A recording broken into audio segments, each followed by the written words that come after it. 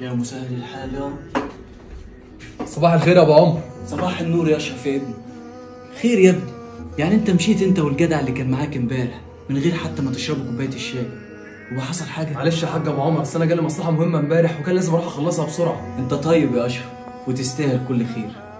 ها أعمل لك كوباية الشاي بتاعتك؟ تسلم لي يا راجل يا بركة. أنا بس كنت جاي أصبح عليك لأن عندي مشوار مهم. أخلصه وأجي لك على طول. السلام عليكم. عليكم السلام.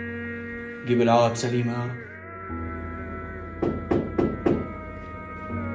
ومين اللي جاي لي الساعة 6 الصبح ده؟ مين؟ أنت؟ خير أنا كنت عاوز أتكلم معاك في موضوع بخصوص إيه؟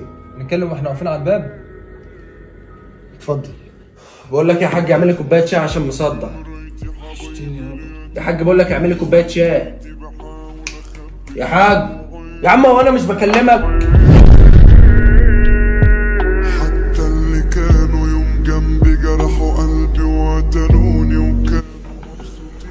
هو أنت عرفت مكاني منين؟ يسال ما يتوهش خلينا في المهم بس. انت بقالك فترة بتيجي عند الحاج أبو عمر؟ وانت أصلا مش من المنطقة عندنا. تعرفه منين؟ أنا كنت مسافر بره عشان الدراسة ولسه راجع. فقلت أتمشى وأشوف البلد كده. رجلي جابتني عند الحاج أبو عمر. شربت عنده كوباية شاي.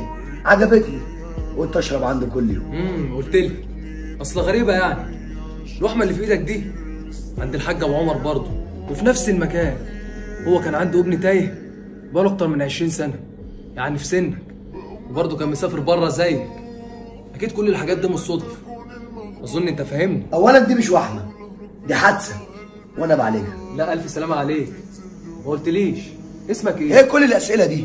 أنت تحقق معايا؟ عموما اسمي محمد مش عمر. أظن أنت فاهمني. محمد!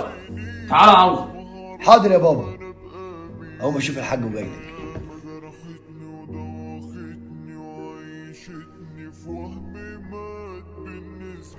معلش اتأخرت عليك. لا ما تأخرتش ولا حاجة يا عمر